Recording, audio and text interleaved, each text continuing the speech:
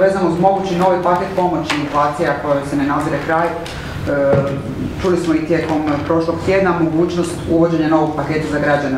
Je li to na stolu? Što bi to bilo? Koje su opcije? Je li to porezno rasterećenje plaća s jedne strane, dodatno smanjenje ili neka druga opcija?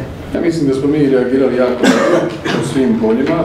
Vidimo da će nešto narasti super sutra, da će malo se spustiti dizel, spustit će se plavi dizel. Nama je uskoro onaj referentni datum, čini mi se početak lipnja za odluku o cijenama naftnih derivata. Tu ćemo detaljno sada izvidjeti što možemo napraviti oko cijena naftnih derivata, oko subvencija kućanstvima i gospodarstvu na cijenu energenata. Tu smo napravili jako puno koje god opcije budu na stolu, a imamo ih uvijek, e, mi ćemo učiniti daljnje iskorake kako bi se e, smanjio udar na standard građana u svim aspektima. Vidjeli ste nedavno odluke prema umirovljenicima koje smo u konačnici korigirali.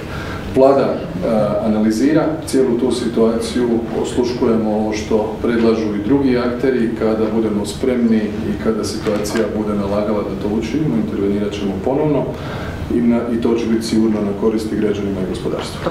O tom I to je moguće. U kojem roku i kada?